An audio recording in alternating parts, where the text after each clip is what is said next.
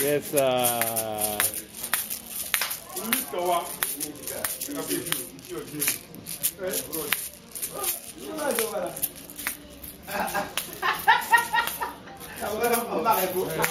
what you ride on?